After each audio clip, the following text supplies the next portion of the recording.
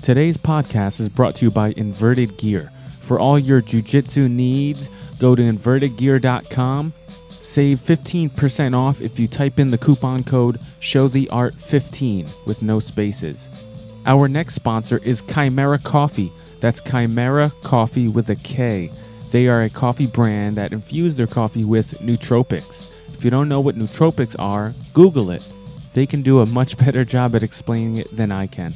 Go to kimerakoffee.com, type in the coupon code Show the Art for a nice little discount. Enjoy. Nick, welcome to the show. We really appreciate you coming on. You are a world traveler and you train with some of the best in the jiu-jitsu world. Welcome. Good. Thanks for having me, man. How's it going today? Good, man. Good. How about you? How's Where- everything? where you- yes. Good. Where are you guys located? We are in uh, sunny New Jersey. We're in the northeast New Jersey. We are uh, our school is in Lyndhurst, New Jersey. We're Mhm. like 20 minutes outside of Manhattan. Oh, that's great. Yeah, Good so deal. we have access to uh, New York City handily, but we still live in New Jersey, where the taxes are lower, mind you. Oh, yeah. Right across the bridge, right? That's right. How is uh how's California? What is the atmosphere in in, in California right now? Because the world's is going on. To me, that's the biggest event.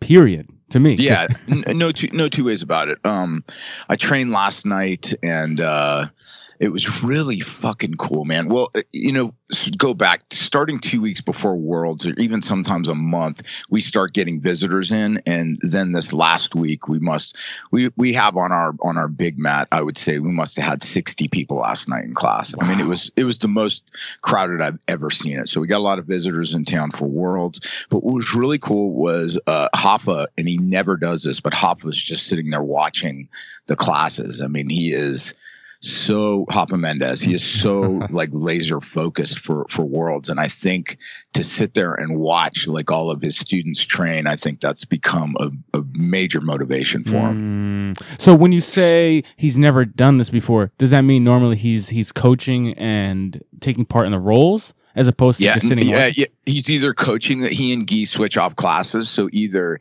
he's coaching or uh, or he's at home, you know, resting. So for the past like two three weeks, he's been because I, I do nogi with him too twice a week, and um, that's that's really my favorite class with him because in the nogi classes we get like ten pe- only eight to ten people, and so I get to roll with Hoppo nearly every time he teaches. But he hasn't been teaching nogi for the past.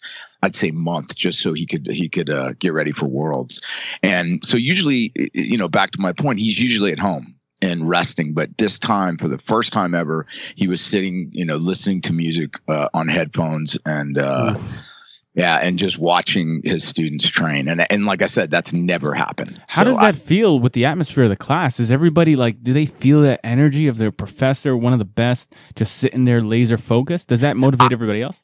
You know, I, I don't know because I noticed it. You know, I, I try and notice everything everywhere I go. Being a writer, you know, like what's going on, you know, and so and and I'm so close with Hoffa that uh, I don't know if it's just me, just you know, projecting that and seeing that, or, or if other people did too. Mhm. You know, when there's that many people and you're training, that's the great thing about jujitsu and surfing is that you know while you're doing it, it it commands every everything that you are. So I don't know if everybody's sitting there thinking, "Wow, Hoffa's watching me," you know. Yeah. Interesting. How's his training going? Like, how is the world's training camp differ from regular training? What Uh, changes? there- you know, there we train with Atos more, and it just the the intensity of the roles and the length of the roles uh, it goes up. So there we have a uh, at ten thirty to twelve uh, all weekdays. We uh, we have comp class, and so in comp class. Um, you know, sometimes it'll there'll be a little bit of technique. Usually, it's just sparring, but it might be five minutes, six minutes. But the intensity of it just goes up. And oftentimes Hoffa will will do like round robins where he'll, where he'll sit in the middle and guys will just roll through him in the last few weeks preparing. Hmm. Nice. Is there a lot of specific training? Like, okay, you start in turtle position, bottom, and I'm on top, and the objective is to get the back. Your objective is to escape. Rounds of that. S- sometimes, I mean, we don't do we do that uh, in comp class like sometimes, and I don't do comp class a lot. I might do I might average comp class like once a week or once every every two weeks. Um, but uh, but because I haven't been doing it, I've watched it, but I haven't been doing it since they've been preparing for Worlds. Just because I want, you know, I don't want to be in there getting in the way. I feel like, hey, that's the most elite guys who are getting ready for this tournament. You know, as I as we roll in after this tournament, uh, start getting ready for Master Worlds, I'll start doing comp two or three days a week. Oh yeah. So you're doing the Master Worlds then, huh? Yeah, I sure am. Awesome, man. And you're a purple belt, right? Yep. Nice, man. And uh, you, what what tournament did you win before? Did you win the the Masters? I won. I won Pans. I won Worlds. I won Nogi Worlds. Hot damn. I, I won like any NABJJF World uh, Nationals, something like that. I don't know. There were quite a few. Good for you, man. Congrats, man. That's that's awesome. That was the only way I got my purple belt. I had to win Worlds, Nogi Worlds, Worlds, and Pans, and uh, and that was the only way I got promoted. Finally, they were like, "I guess we got to promote him." How did you get hooked up with them? Is it just your passion for jujitsu and finding? No, no, I didn't even start rolling until they opened the academy, and so I was um, I was in the middle of writing the book Into the Cage, Hmm. um, uh, Rise of UFC Nation, and so while I was writing that, I was like, okay, man, I, I really should. If I'm writing about this subject, MMA, I really should at least learn some, you know, at least try and train some of it. And I, I grew up wrestling from like eight years old to 18. Oh wow. And and so I, you know, the first time that I saw jujitsu, I was um I think it was 1999, 1998, and it was Dana and I underneath what is now uh, the UFC headquarters, but there was a gym there then, and there's still a gym there now. But uh, he was training with, uh, and he wasn't. They didn't own the UFC at that point either, Wow. and he was tr- he was training with John Lewis. And so, um, so I was in there just getting a workout, and he's like, "Come on, let's roll." And so we rolled a little bit, and at that time, it was like I just didn't, it, I didn't get the bug, and so um, until uh, until you know 10 years later but at that time i was like man i just got out of wrestling like 10 years ago. I don't know if i want to go back into wrestling but uh, but once i started writing the book um, about four years i think it was four four and a half years ago i decided i wanted to start training and so at first dana hooked me up with uh, fred Paixão, Mhm. um, who's three-time world champion and he would train fighters or he would train employees of the UFC downstate downstairs. And so Dana's like, just go check it out with him. And I so I started a few classes with him. He just basically showed me how to put on a gi, how to tie my belt. Mhm. And um and then when I came back to California, I was talking to a friend of mine, uh, Pat Tenore, who owns RVCA. And Ah, um okay, that's good. Sorry about that. no problem. Okay, so so so what happened is, you know, I, I trained a little bit with Fredson Paixão, and then when I uh, when I came back to California because I don't live in Vegas, Mhm. I live I live in Newport, and so uh, when I came back, I was talking to Pat Tenore. He said. Uh, you know, I told him I wanted to I wanted to start rolling at a gym, and he's like, "No, don't join any other gym." Mm. I, I, because I'm a, I'm about to open a gym with the Mendes brothers. I didn't know who the Mendes brothers were. Ah, And so I would go by the, he showed me where it was, and I would go by there because it was supposed to open in a month. And that month turned into the next month and the next month. And I just started getting so antsy. And so I trained, then I trained a few times while I was waiting with Eddie Bravo. So I'd go up to LA and train with him. I'm friends with Eddie. okay. And, uh, and then they finally opened the academy. And uh, I've been there since day one, man. And I'm really close with the brothers. And it's, it's, a, it's an amazing, amazing academy. That's great. That I mean, that you fell into Ah. what turned out to be one of the best academies in the world, right?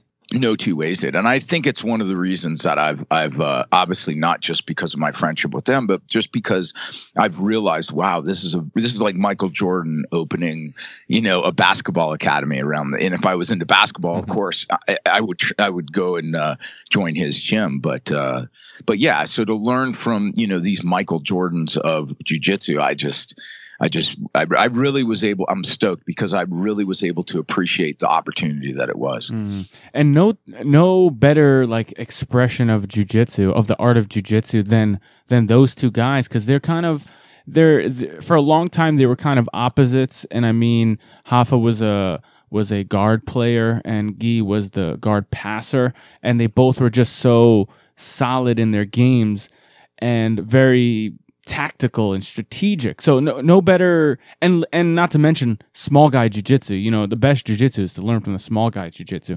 and uh, no better teachers than to fall into those guys' laps. That's perfect, man.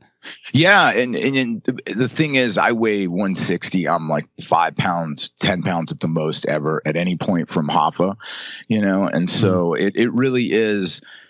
You know, I, I I don't know if I agree with that thing that you should learn from small guys. I really think you need to learn jujitsu from from uh, someone who is your size, because they don't teach at all half guard.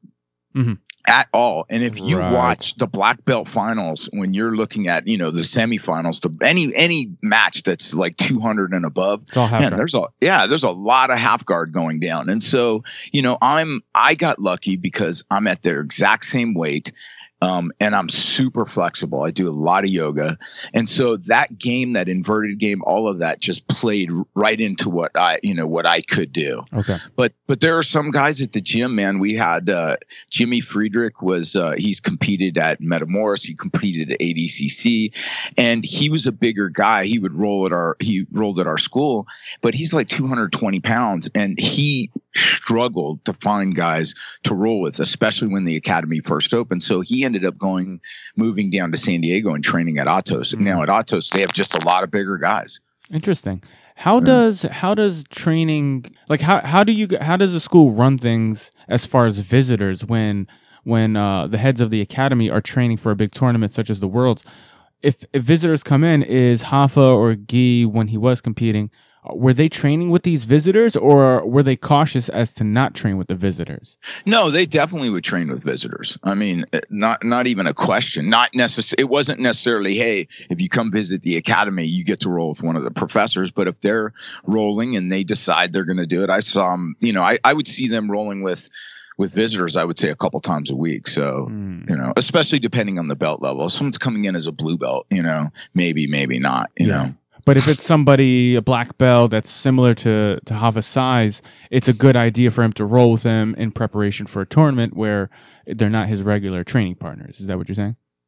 No, I mean, if if it's it's, I think they're very cognizant of the fact that people are coming to the academy to have an experience, and part of the the, uh, the best part of that experience, the most you could hope for, is the opportunity to roll with one of the brothers.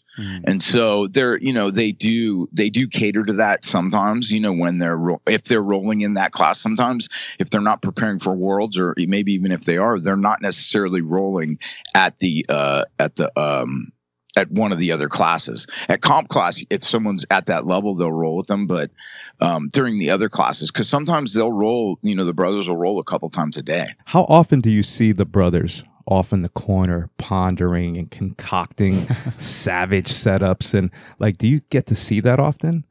Oh, you know, I I don't necessarily know what they're working through in their head, but they're very. But during class, I mean, they're, you know, they're they're senseis, and so they're sitting there watching everything, because they need to know like where we are, what we need help on, what you know what I mean. If they see something, someone or some someone like there have been times where I was doing something wrong in the middle of, uh, let's say, a move, a transition, and they'll just stop the class here circle up everybody and they'll go over it. Or let's say someone else is making that same mistake or, or a different mistake they'll address that. They won't necessarily just come up to you which they will but if they think it's something wait a minute this is something the whole class is having a problem with. Yeah, there's But a common theme. Yeah, but as far as them, you know, like concocting like new, you know, this for the worm guard, I've seen, or you know, counter to this, or how do we better that? I've seen them do that, you know, fairly often, but not all the time. Interesting. Now, one of our first, actually, our first experience with the Mendes brothers, um, we've been fans of theirs for a long time. And when they first opened up their academy, they had a training camp, like a four day training camp. Um, and we made a point to go there. And we and we went traveled um, and we took part in this training camp. It was four days a session morning session at night four days straight. And um, it was amazing to be a part of their classes. And uh, i'm surprised that, i'm surprised we didn't see you there if you joined immediately when they opened. That would have been cool. How how soon was it? How early was it? i think within the first six months of them opening they they they had their first training camp it was like Yeah, I- open to public training camp Even then, I was I was traveling a lot. okay You know what I mean? We were doing the blogs, and I was finishing writing the book, and so there was a lot of uh, there there was a lot of weekends or weeks that I was gone. Sure. Well, it was amazing to see their teaching style and to really see, you know, somebody who's or both of them as good as they are competitors are they good teachers? And we got to see a glimpse of high level jiu-jitsu athletes as well as high level jiu-jitsu instructors. And that's a breath of fresh air to see to know that you could focus so much of your life for competing but also be a very good instructor. Because a lot of times people take those one of those two pathways right yeah, absolutely. And and the, and their approach to instruction is so different than and because I tr- you know traveling a lot, I've been to a lot of academies, and uh, a lot of times it's just the typical okay circle up here's a new here's a submission etc and you're just like i don't know when i'm going to fit that in my game if i'm ever going to but they have developed a real curriculum around the De La Riva where that's one of the first things that you learn. They consider it the best guard in jiu-jitsu. Mm-hmm. and so even it, when i started there was no beginner class. Now there's like a three month beginner class where you don't you only spar with beginner beginners and uh huh um, and and it's cool because that you know going over there and watching how that curriculum first starts the one of the first things they're learning is uh is De La Riva. Interesting. So they're they're just jumping. They're teaching the students right into what they truly believe. That's right. They're not starting with closed guard. They're not starting with no. They're starting with De La Riva because once you get the foundation of that, everything branches off of that. And they have a curriculum. I, I you know that that they have it planned out for the next six months for every single class that gets taught in the academy. Mm. Gotcha. And how do the roles differ for the beginners? Are are they doing uh, free rolls, or are they maybe even starting in a De La Riva position? Well, they'll, they'll do specific training and they'll also do free rolls, but it's not, you know, when someone first comes in, it's not like the first day you're sparring with anyone. They don't, they don't do that. Um, it's like they worked them into it. You know, if you think about it, when you like when I came into jujitsu, it was very different because I had ten years of grappling experience, right. and so you know, I, I, I, it was okay for me to spar. I don't look back at that and say, "Wow, that was shitty." But I, I do see a lot of guys that start, and this is how most people start: is the first day you walk in the academy, you know, you're sparring usually with like brown belts and purple belts and and some jackass that wants to show off which is typically what it is. Oh let me show you this collar choke and this. And i you know you have to wonder how much um how how many people drop out because of that. Yeah. Because it's like man this is not this isn't cool you know? I want to mm-hmm. learn it but i don't want to get beat up on every time i go mm. so. So eh, that's a good that's a that's a very interesting point to make like if you're running a school somebody's coming to your school, even if they're a fan of like whoever's teaching, if they're a beginner, they're coming in for a purpose, and that's to learn self defense, not to come in. So their first class, couple classes, they're assuming they're going to learn the steps to to get good at that, not to learn one step and then jump right into the pool. You know, so yeah, like exactly. Yeah, it's so important that that that people don't spar that you hold off as as much as they're excited to spar. Hold off on a couple of weeks, maybe a month or two before you let them spar or or just pick and choose who's ready and who's not ready. Don't let them jump in immediately, right? Absolutely. Absolutely.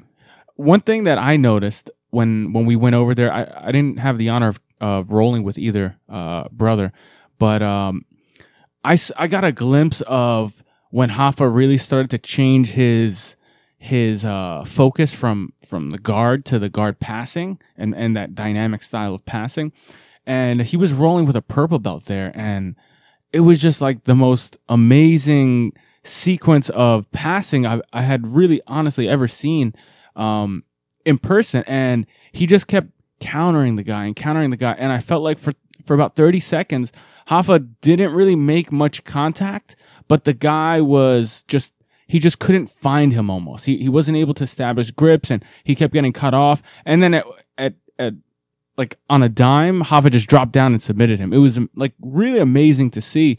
And I felt like after that, I really started seeing him, or we all started seeing him shift to a passing focus in competition. How has that changed the training environment in the school?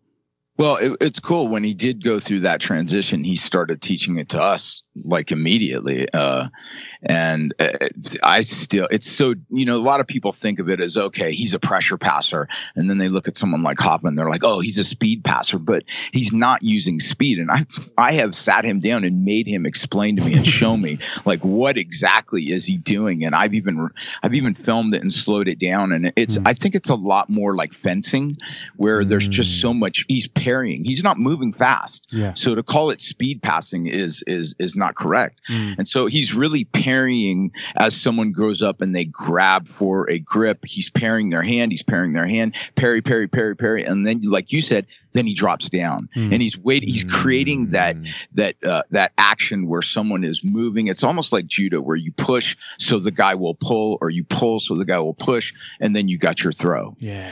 It's Mm. beautiful. You know, So he's doing Yeah. Wing Chun.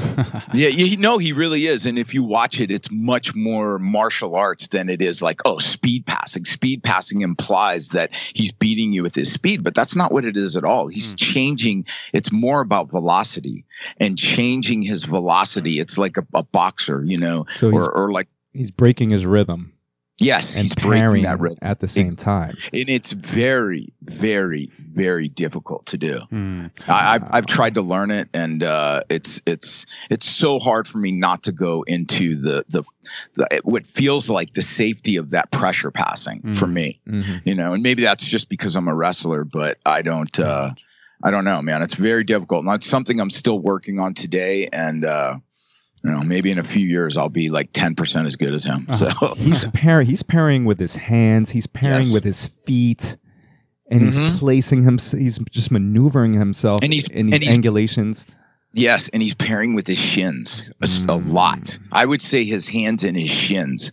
So he's constantly like almost windshield wipering, blocking windshield wipering, and then stepping, you know, pop, pop, pop. And what's what's amazing and what's so difficult about it is it's like playing the piano, where okay, you under you start learning how to play with your left hand, and then you start learning how to play with your right hand, Mm. and then you have to you can get them to play the same thing at the same time but can you get them to play two different songs or two different melodies Oof. at you know on the piano and it's it's really is something that's it's very difficult and it's hard to get for me to get my brain to make that click i mean i dude i've been sitting there i've stopped in the middle of like when he's watching me spar i've just told my partner stop and i'm like okay what the hell are you doing this and he's like no you have to sit you have to crouch more you have to bend your bring your knees in bow your bow your knees more Mm. so you can block with the shins, block with the shins, you know. Yeah. I've been- I've been studying his style for a while. We have access to uh, you know their website and Mhm. all their roles and all their their drills. I feel like I get way more benefit from watching uh, said Hafa or Gui's roles with the students because you really get to see their games open up. And I've been studying his passing ever since I got my brown belt about a year and a half ago. Was it Marcos? Mhm. Probably two years ago. Two years ago. Um, I really set the goal to to get back to like trying to pass with looseness, like I did when I was first starting out as a white belt, blue belt. Didn't really know much. I was just relying on attributes. But then I kind of started getting inspired by by Rafa Mendes's passing, and I'm like, wow, I can pass without doing the traditional like knee cut, heavy passing, Gracie style, and it really inspired me. And I and I watch his videos almost every day with the students, and w- one thing that I've gotten out of it, what he's trying to do is misdirection. It's yes. just here's one thing, touch it, and I'm going the other way. And then when I go the other way, you think that's my plan, but it, it's just a constant misdirection. And eventually, um, the pass comes with ease, essentially. Um, but I, I noticed there's a lot of little schemes that he does, and I, and I feel like I've I've found a couple of them, maybe like two out of the hundred that he does, you know. But I feel like there's a lot of little schemes that he's developing based on the opponent's reaction. And then they all get glued together. So now it might look like to the naked eye that it's all random and, you know, off the cuff, but I, I, I, I'm pretty sure it's all little schemes, right? Did he has he given you any like little tips like, hey, do this, then this, then this, then this? Yeah, I mean, we work on chaining some of it together, and and especially, you know, I always go back to nogi. I like it's actually you can use the same type of passing in nogi, Yeah. um, and I think he was using it, uh, uh, it when we were in Chechnya. but uh, w- where I first saw him because he doesn't compete really a lot in nogi, and he did there, and um, and so in nogi it's actually i think it's the best place to first start learning it because people can't grab your grips. Yeah. you know all they can grab is your ankles. And so that gives you that that opportunity to at least start trying to use some of it. Mm. but yeah we, we've gone through he's gone through some of the chains and how this could work with this. But the reality is is if you are if you're if he's using misdirection and you're trying to employ those tactics it all is de- it's like very much like surfing. It's all dependent on the wave. And so Mhm. you know am i going to come up and and am i going to try and bust an air right there or am i going to ha- just give a hack or am i going to pull a floater well it depends on the wave i can't even how can you even think about chaining something when you don't know what you're reacting Mm. to Right. Especially if the guy does nothing. What if he does Exactly. nothing? yeah no two ways about it yeah. so So so interesting. Now, what role does does Guy play in? Since he's not competing, does he play in this training camp that's surrounding Hafa's win at the Worlds? I'm willing to Well- bet he's a mastermind behind the scenes, concocting strategic uh, plans and all that stuff. Oh, for sure, for sure, absolutely. And uh, you know, he is definitely still the main, you know, one of Hoppa's main training partners.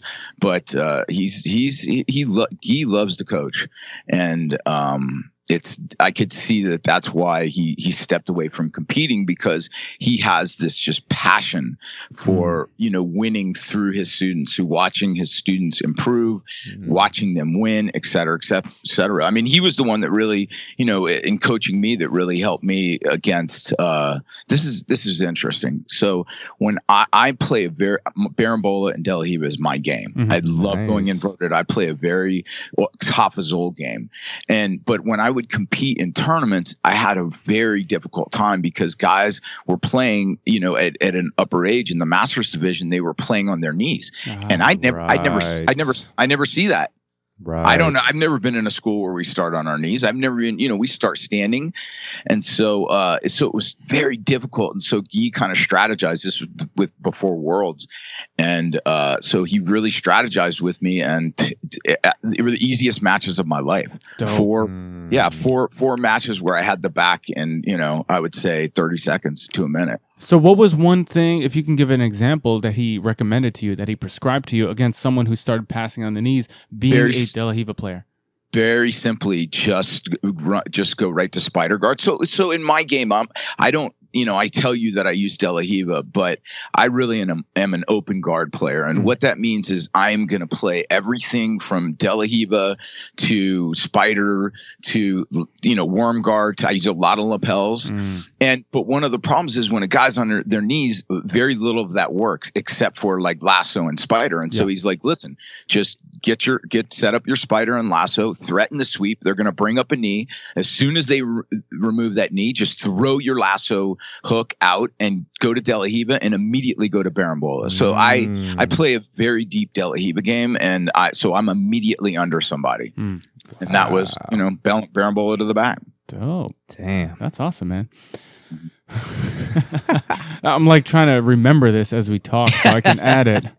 We never get to see any roles between the brothers, right? Hafa and Guy. I always feel like it's like the scene in Rocky, what was it, three? I like where At this the is end. going. Yeah, where where uh, Rocky and um shit, Apollo Creed fight in the dark room and they spar, but you don't get to see it. it like the the scene cuts. Do they only spar when no one's around in a dark room? Oh no, they spar. They spar. I've seen them spar uh, quite often, and it usually it usually goes to a draw.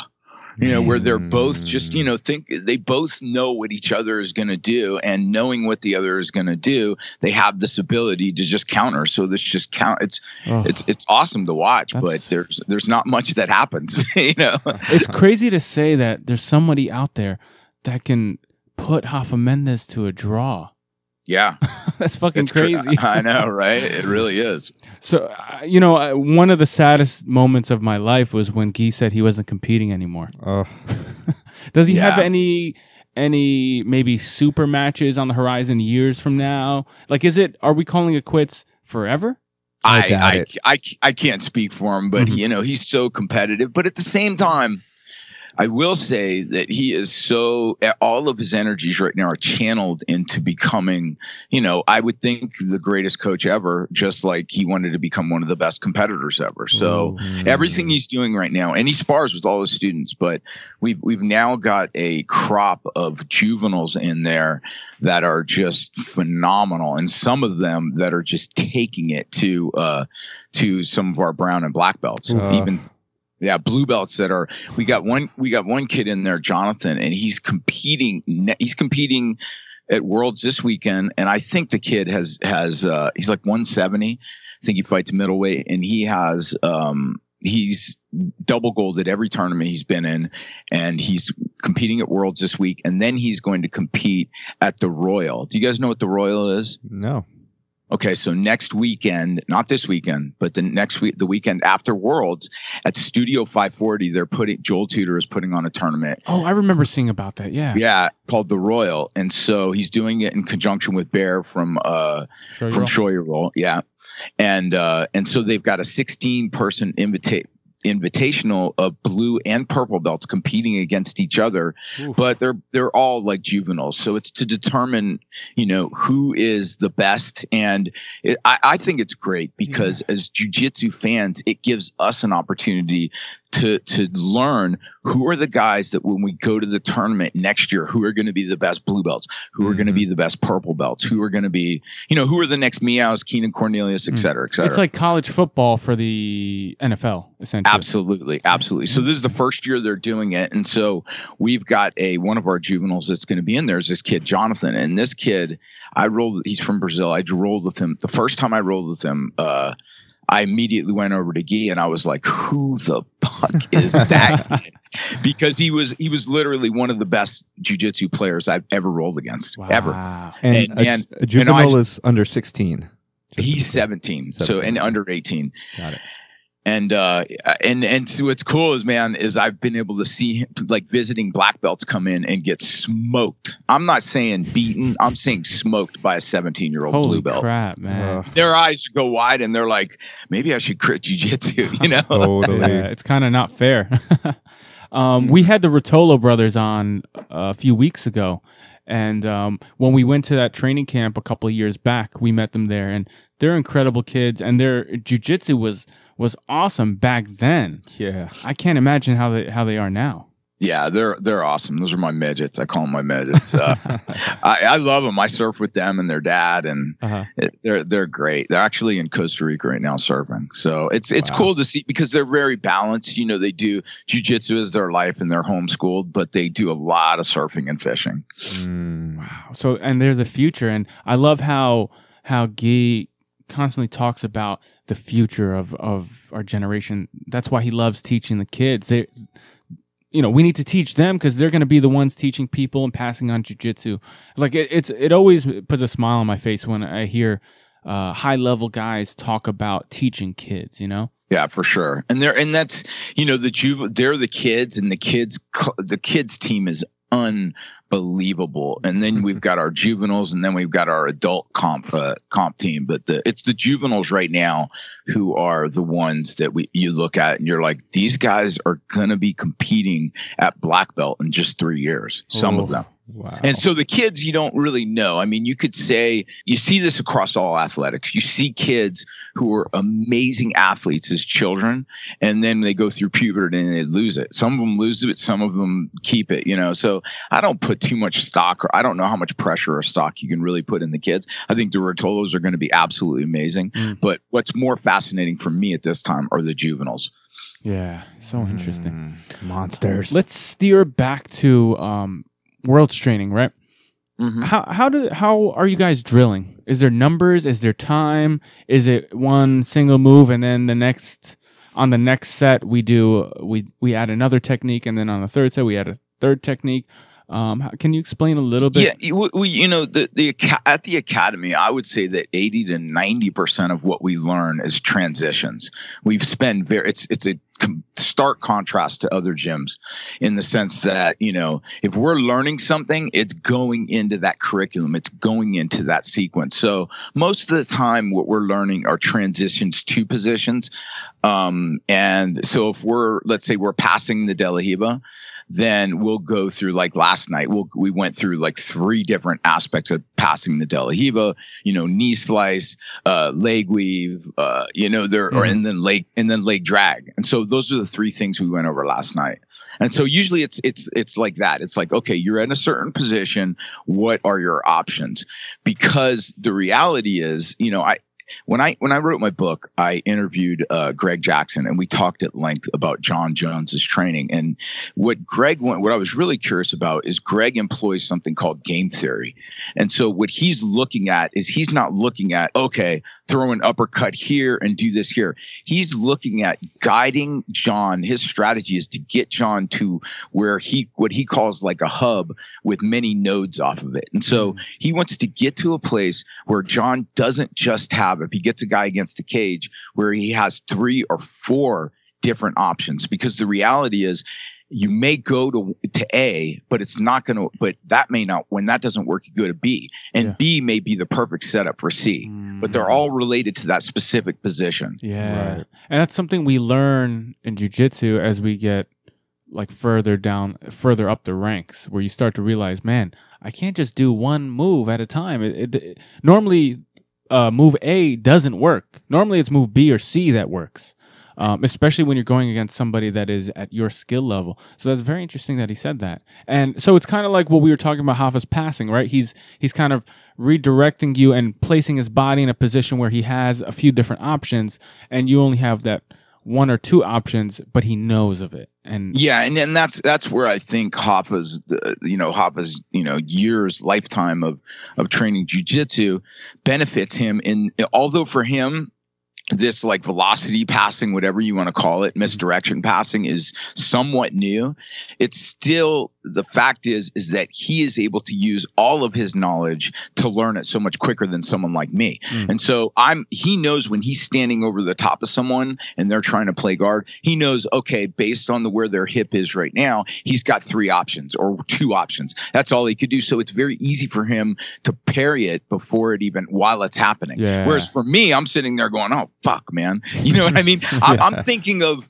i'm thinking of okay in this position i can do a or b where i'm not where i should be really thinking is okay he's going to do a or b and i'm going to do this to counter it and that's where that slowdown like i'm for guard i never get lost playing guard. I play guard you know extensively. I feel completely comfortable playing guard. Mm. but and, I, and so i don't get to a place where i'm like gosh i don't know what i'm going to do. I know what someone over the top of me is going to do. I could see it. I've been playing it long enough. I've only tried to really learn the velocity passing that Rafa does i'd say for the past maybe eight months, ten months, and uh, and I get lost all the time. I reach places where you know I don't know what they're going to do. I don't know what I should do. yeah, You know, and then so like I was saying earlier, that's why I'll where I'll regress back to if I just freaking pressure right here, I'm strong. Mhm. I'm going to be able to at least stop what he's doing and maybe slide my. The problem with that kind of uh, that kind of passing is that when you do it in a tournament, by the time you get to your second, third, or fourth or fifth match, you're spent. Yeah. So Mhm. true. You know, Right. and so like playing guard, I don't really get tired of playing guard. You know, it's so much technique for me, but passing, man, it's a. Now, a- wouldn't you say if you spent most of your time passing as opposed to as opposed to guard playing, you would have the energy to do that? But if you fell into the guard, you, by third match, you wouldn't have the energy to do that. No, Right? no, In I, I. I'm saying for me, I don't, Okay. I don't get tired playing guard, but I get exhausted trying to play top. you know, top, top game just it just exhausts me because I always regress at some point to the pressure passing. You know what I mean? Which Sure. is Mhm. I find to be much more uh, Grueling on the body. yeah, absolutely. Grips, everything. You know, with guard, I can sit there and use my feet on your hips, my just to keep that distance where I'm not using so much muscle. Gotcha. Right. How are you? Are you guys drilling for numbers or time?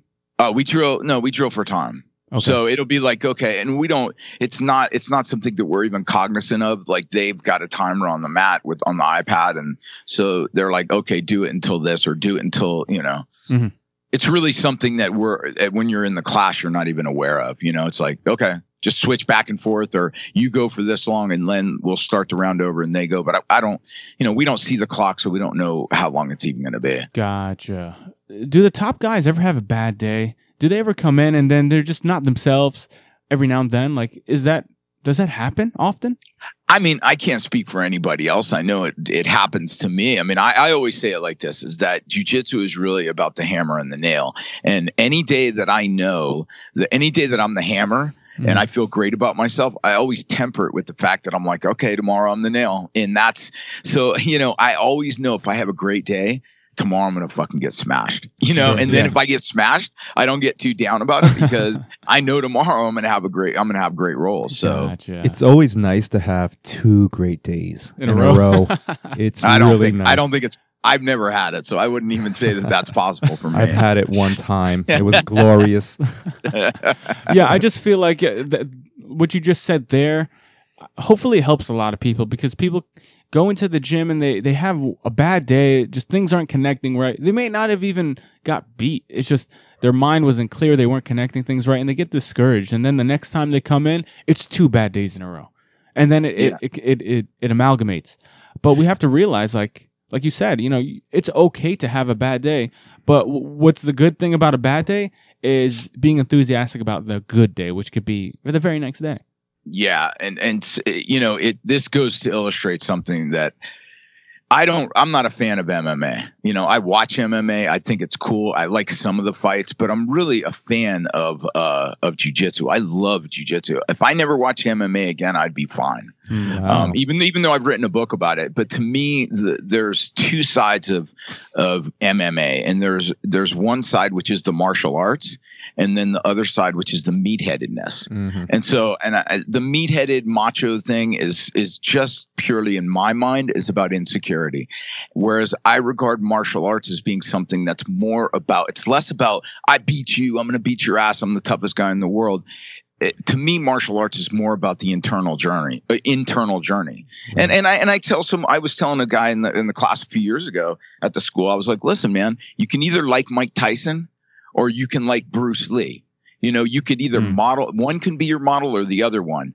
Mike Tyson was one of the greatest heavyweights ever, and but that macho ness ended up landing him in prison. I don't want to be Mike Tyson, and I love Mike Tyson. I'm a fan of his, but I would rather be like Bruce Lee. I would rather be someone who's more about that internal journey of bettering myself, and that's Right. that to me is what jujitsu is about. You know. Mm, Mm. So, so I say that in regard to having a good day and a bad day. yes. You know, the, the- having those bad days all the time are what present. First of all, off they humble us, and you know what I mean. And which Yeah. is as as far as your journey in martial arts is probably f- the foremost most important thing. Is humbling Absolutely. yourself. Absolutely. That's the beauty of jujitsu because we can spar all the time without Yeah. like running the risk of too much injury. So you have a lot more opportunity to be humbled. And I, I feel like usually in, in a straight jujitsu class, those students, there's a lot more humbleness than in MMA classes or boxing classes or kickboxing classes and so on and so forth. Yeah, you never and think about the interviews. You know, you never see someone in jujitsu uh, before you know, like one of the top guys, Rafa Cobrinha. No matter who it is, Leandro Lo. No one's sitting there going, "I'm gonna beat his ass." I'm gonna, fr-. you know what I mean? Yeah, it's yeah, it's sure, like, yeah. and then and then you watch it in in MMA, and I'm like, it's entertaining, Mhm. but at the same time, it's so I understand why someone like Rafael dos Anjos, who comes from jujitsu, is like, no, my fighting is going to do the talking. I don't Yeah. care if it's going to sell more tickets. I'm not going to do it. I, I I respect that. Hell yeah, man. Me Big too. time. Like Demetrious Johnson. Um, Yeah. He's just like, listen, man. Yeah, like this is not about what this is not what martial arts is all about. Um, that's a beautiful thing, and and we're happy to be a part of jujitsu, and it humbles us that way. How do you think Rafa's gonna do in the worlds? I, I know your answer. He's gonna win, but how do you think he's going to compete in the worlds? Do you project him landing certain things? I mean, I, you know, I think he's gonna. Last year, he uh last year he just was so dominant and all submissions until he got to Cobrinha, and I'm a huge Cobrinha fan. I Mm. think Cobrinha is amazing because given how late he started jiu-jitsu and how old he is now, and to be at that level where you know he's smoking everybody in the tournaments also. yeah. Um, uh, I, but you know he's getting older, and Rafa's at that prime physical age. You know, Mm. I think Rafa's gonna he's gonna roll through. I at least I hope he does. You know, Mm. um, but um, I don't know. Uh, it's it's interesting because Gianni Grippo has now dropped down to light feather. You got uh, uh, quite a few guys that are dropping down rather than face Rafa at Yeah. uh, at feather. Rafa or Cobrinha. You Mm. know, they're, the two of them are just so dominant.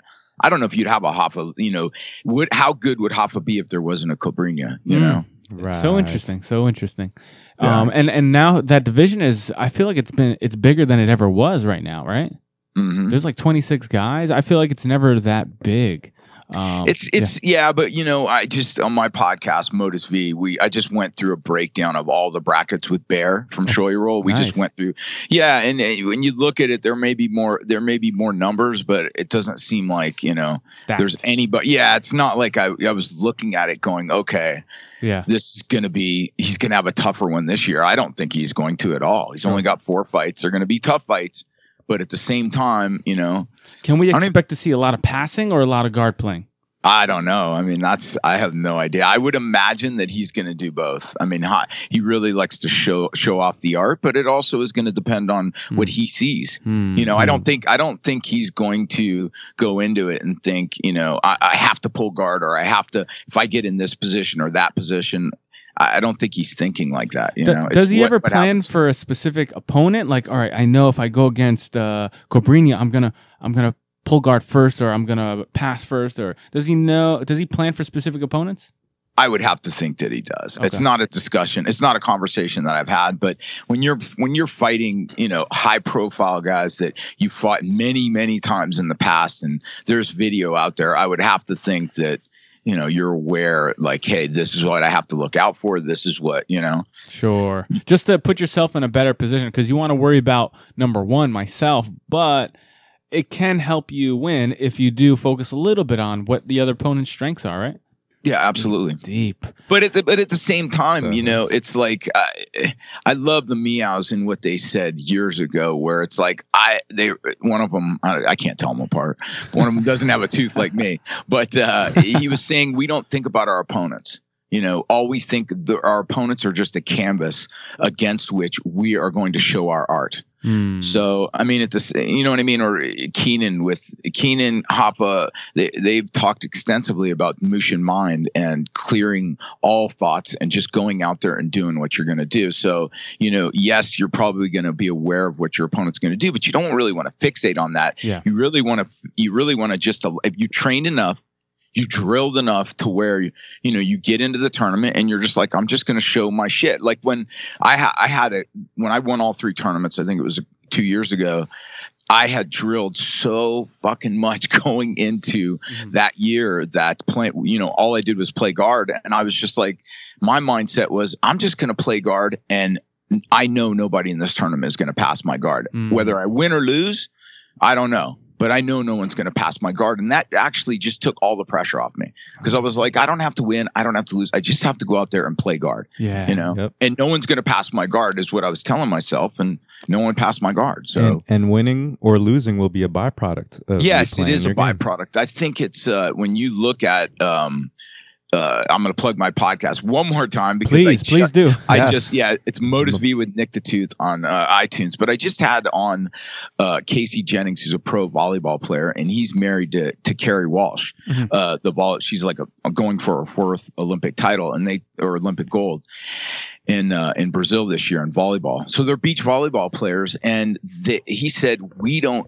ever think about winning or losing ever. We Hmm. go out there and our goal is to have fun because whoever's having the most fun is going to win. Yeah, Yup. that's so true, man. Exactly. I know when I first started competing back in the white belt, blue belt days, that's all Marcos would tell me. Marcos is my my professor. He always used to say, just go in, have fun. Just go in, try to pull off some cool moves. Just play your game, and that's kind of where where where that took me uh, as far as competing. And I never had that pressure to win, and I felt like that's why I always did pretty good for for what I've done. I, I didn't win everything, but I didn't lose everything. But I know I always uh, pulled off some shit. You know what I'm saying? And I think it's because that made me worry about myself, and and it took the edge off.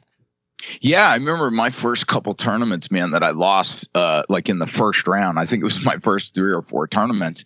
Um you know, I went out there uh, just really starting jujitsu, and it was just more of a holding match. You know what I mean? yeah. And it, like where there were, and then I said to myself, you know what?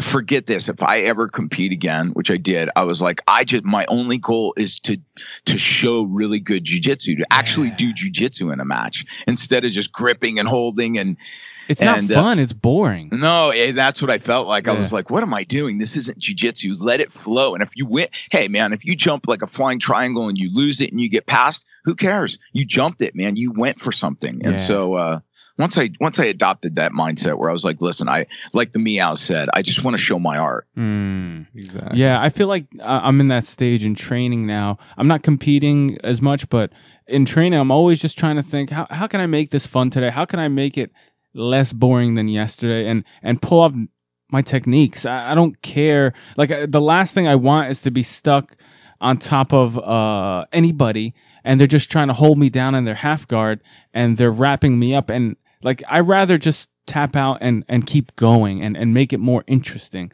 And I feel like that's when that's when you can sustain being good and sustain improving and evolving.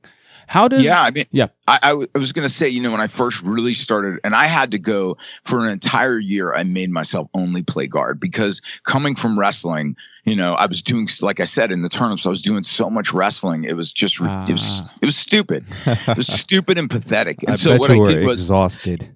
yeah, it was just dumb. And then so what I said was, this BJ Penn told me, he said, listen, man, if you can get a good guard, he said, no one will ever beat you in a tournament. He goes, that's how I won my world title. Mm. And and so I said, okay, you know what, BJ, I'm going to do that. And so for an entire year, all I did was play guard. And I would say the first eight months, I didn't even try and sweep or submit from guard. All I did was try and retain my guard. And at first, like you know, young girls would pass my guard, but after a while, you know, you continue to just play it and play it, and it, your mind opens up, and you're like, oh, all these possibilities, et cetera, et cetera. But Yeah. uh, Heron Gracie said that about what Helio told him. Grandmaster Helio Gracie. He said when he, I forget when, but he he he he said the story where, um, Helio told him just defend. I don't want you trying to sweep. I don't want you trying to submit. I just want you to get your guard past and defend. That's it. And he said he made him do it for like a year or something. And at first, he I think he was like a teenager, young kid. At first, it he was just like, "Why? Well, I don't get it. Why am I doing this? When can I attack? When can I attack?" He's like, "Just keep doing it." And eventually, he just started not getting past, and not getting past turned into naturally sweeping people without even trying because of his confidence in his defense. And like that, that's the benefit of a of of having a confident guard, right? Like yeah, stopping Yeah, the I pass think- first. For me, and it, maybe it's a liability for me sometimes when I roll, but I like to play like a count, like a counterpunch guard, where you know, like Anderson Silva is really waiting Mm. for someone to make a mistake and Yeah. then to pounce. You know, to frustrate them, frustrate them, let them make a mistake, boom, you know, attack. and you feel that works for you very well. Oh yeah, I do, but I think it's sometimes I need to get more aggressive where I just come out. Some guys have a very aggressive guard where, you know, they're th- and, and obviously that philosophy is, you know, a great offense is the best defense. And Sure. so if, when you're attacking attacking, some guys have that style. I'm too lazy for that. Mm. So, you know, Cool, man. Um, one last thing. I know, I know, we're running out of time, but and this might be off subject, off topic. It's just kind of a question we ask everybody. Nick, where do you find inspiration from? Whether it's for jujitsu, writing, anything, where do you find inspiration from? you know, I I think it's all about life is all about for me um it, really pursuing my passions. And so if I'm passionate about something, then I really don't need to find inspiration. I love jujitsu.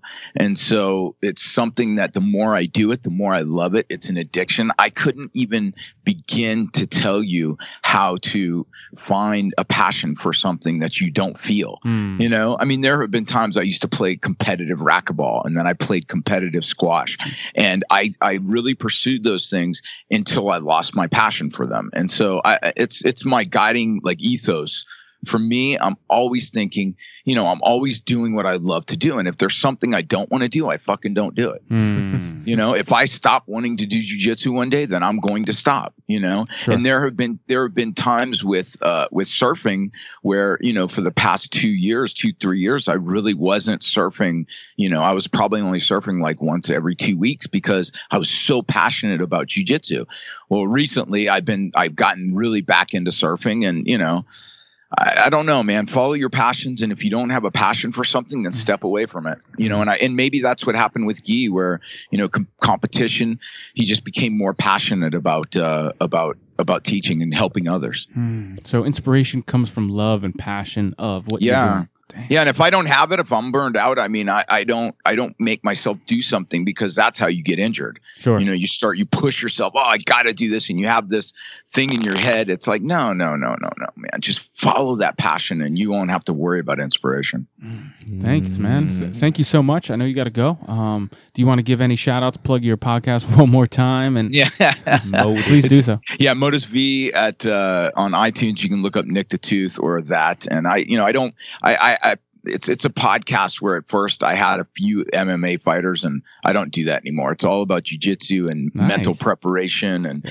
physical health and diet. So Nice, man. That's awesome. And I got, I got to check out. I listened to one or two of your podcast episodes. I just don't have much time to listen to podcasts, but I definitely want to check out the last one with uh, Tenore, right? That's how you say his no, name? no, no, no. The last one I did was with Bear. So Bear Aquinta from uh uh Shoyoroll. Show you all. Troy Roll, yeah. And so all we're doing for that one is we're just talking about here's who to look for in the lightweight, here's who to look for in Oh. featherweight, here's who to look for. This is what you can expect in the brackets. That's so dope, man. I got to listen to that today. yeah, it's it's Yeah. really a jiu- it's for jujitsu geeks, Yeah. so I think you guys would like it. For sure, man. Mhm. And we got to do this again, man. I'd really like to get into more about your life and, and where your journey started and where it ended or where it's gone to thus far. You're you're such a interesting person and um, you know, thanks for coming on. Hold on. Have no, you I, I have you tapped ahead. out Dana White? we don't roll. Ah. So he, he doesn't he doesn't train jujitsu. So Remember when Dana was training to fight Tito? oh, God. and he had that No. triple jab.